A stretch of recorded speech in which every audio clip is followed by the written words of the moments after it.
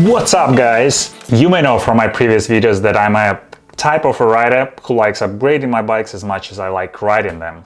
And in today's video I wanted to give you my 5 tips of how you can make your bike lighter without breaking a budget. And these are the types of upgrades that many people don't think about when they make their bike lighter. They jump straight to the frame or wheels or group set, but remember, frame set is just 15% of the weight of the whole bike, whereas the remaining 85 is the components on your bike. And in one of my previous videos, I showed you how I upgraded my Cannondale Topstone and made it 2.7 kilograms lighter. It's a kind of magic. It's a kind of magic. Obviously, in that video, I replaced all components on my bike and if you want to achieve this type of weight saving, you probably need to do the same. But there are simple and easy ways to make your bike lighter. And the most important thing, you don't need any special tools to do that. And in this video, I'll be using price per save gram as a measure of how expensive or cheap the upgrade is. And to be clear, these five upgrades maybe not the most efficient in terms of price per save gram. And if you're looking for that type of advice, I would recommend upgrading your wheels because even some expensive bikes, which cost more than 4,000 pounds, come with cheap heavy wheels and you can shave a lot of weight by upgrading wheels, but that would cost you from 500 up to infinity. Uh, and this video is targeted to less than 25 pounds upgrades. So let's start. And for that, I have a box of goodies. Yeah, it, it's a SRAM Force AXS box, so just buy the most expensive group set on the market. No, I'm just joking. So, what do we have here? And my first tip would be change your through axles or skewers to bolt-on design. Many bikes come with through axle or quick release that have a handle, so you can quickly remove the wheel from your bike.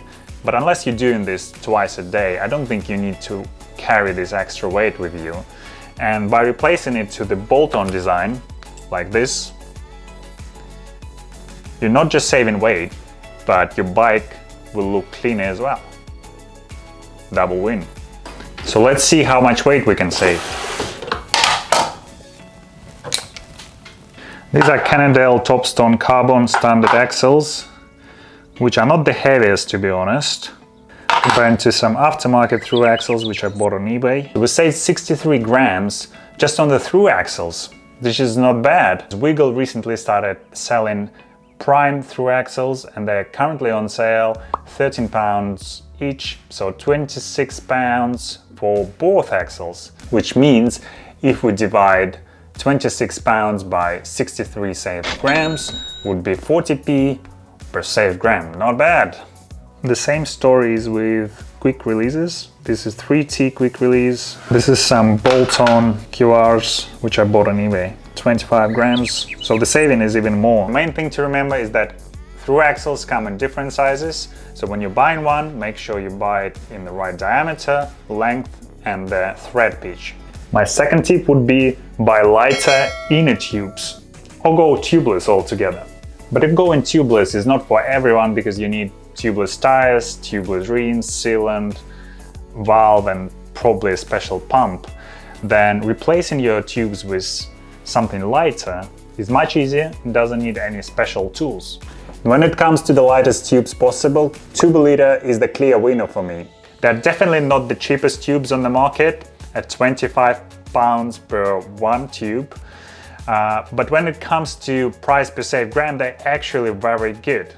Let's see how much weight we can save on the tube and calculate the price per saved gram. Oh, forgot to mention, in this video I'll be comparing gravel tubes, but they make tubes for road and mountain bikes, and the weight saving will depend obviously on the size of your wheel, and the bigger the wheel, the more the saving would be. Let's weigh Tubolito first, 57 grams, and the standard gravel tube, 157, which means you can save 100 grams by spending just 25 pounds, which is 25 pence per saved gram. This is really good. Another good thing about Tubolito is they're very compact so they fit almost every saddle bag. Next weight saving tip is my favorite one because it's free. So tip number three, cut your seat post. Yes, you've heard it right. Most bikes come with very long seat posts like 400 or 350 millimeter long. And in many cases, you don't need the full length of the seat post. So by just cutting it at the right length, you save three grams. General rule is that you need at least 8 to 10 centimeters inside your frame. So for example, in this case, I can cut the last 10 centimeters of the seat post. In this case, how much weight we save will depend on the length of the seat post and material it is made of. Obviously for carbon you will save a bit less, for aluminum you will save a bit more.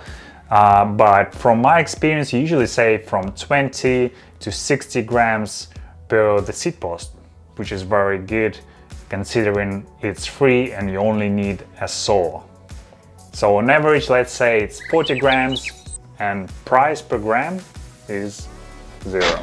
Moving on to tip number four, replace your fork compression plug and stem cap. This might surprise you guys, but actually by replacing your fork bung, or it's also called a compression plug or expander bung, however you call it, you can save some grams too. So let's see what we have in the box for compression plug. This is an extra light aluminum stem cap and also an aluminum bolt, plus the compression plug, which I bought on eBay and it comes from China. But lots of other more expensive brands like Carbon T or Schmolke are using the same design to save weight on your bike. But obviously Schmolke and Carbon T would cost you much more, whereas on this compression plug I only spent 5 pounds and on the stem cap plus the bolt I spent around 7 pounds.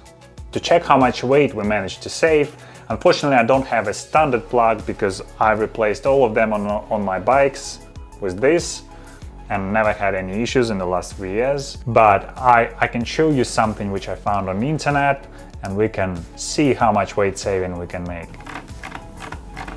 And by the way, the good website to check actual weights of the components is R2Bike because they have photos of the components on the scales. So here we go, this is a standard compression plug which weighs 54 grams. So we managed to save 38 grams just on the compression plug and the final weight saving tip of the day, which is tip number five, upgrade spindles or axles in your pedals to titanium. This will not work for everyone, but there are quite a few aftermarket options that cost from 20 to 30 pounds. And in most cases, it's an easy swap, which you can do having just standard tools. And in my case, I spent 25 pounds to buy titanium spindles for my speedplay pedals. 56 to replace the standard chrome axles that came with the pedals.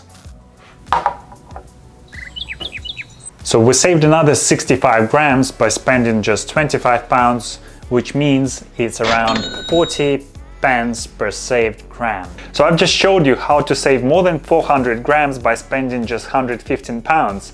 If you think about it, this is the difference between the weight of a carbon frame and a comparable aluminium frame, but it costs six or eight times less. And this is not taking into account that you can sell your old components, obviously if they're in a good condition. And if you have really great selling skills, you can maybe even sell the cut piece of your seat post. If you have any other tips or ideas, please share them in the comments down below. And tip to cut fat off your body doesn't count.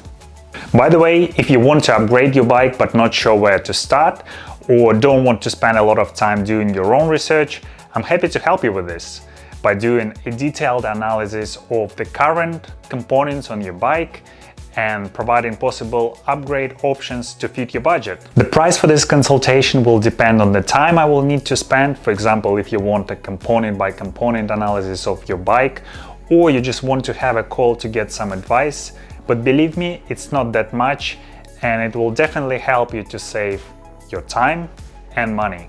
For example, this is the analysis that I performed for one of the subscribers of my channel from New York. The file that I sent to him contains his request information and my comments against each of his requests, plus a detailed analysis of his components and the weight and the possible upgrade options, the price, approximate price for the used components he might be able to find, weight saving and price per saved gram. As a result, he managed to cut more than one kilogram off his Trek Checkpoint by spending less than $500 or equivalent of 360 pounds, including the sold parts. If this is something you are interested in, I will leave my contact details in the description to this video.